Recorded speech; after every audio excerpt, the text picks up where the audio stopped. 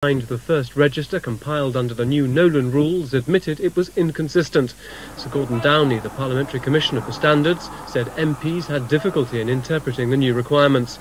The Labour MP Roy Hattersley admitted to earning up to £110,000 as a journalist, whereas the former Cabinet Minister David Mellor refused to declare his earnings as a consultant to 10 firms, saying they were not provided in his capacity as an MP. Talks between British and Russian diplomats will resume this morning in an attempt to work out a compromise deal to the spy row. Russia's state security agency, the FSB, said nine Britons were being expelled for running a spy ring involving a Russian government official with direct access to classified information.